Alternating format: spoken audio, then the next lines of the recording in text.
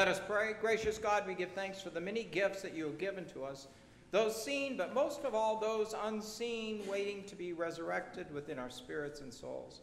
Strengthen each person here that they may be a beacon and gift of life to the world. Amen. Congregation, sit down, and we have a closing song. And I would like to, I know Guillermo will say, but I would just like to say thank you very much to all of you. And uh, will they be out where people can? Yeah, I, I think it'd be great if.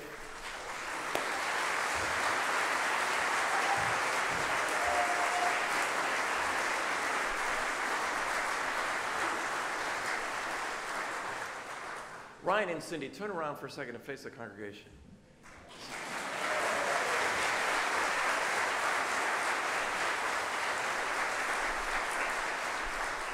So, following this worship service, they'll be here so you can pass by and, and let them know how much we appreciate their music.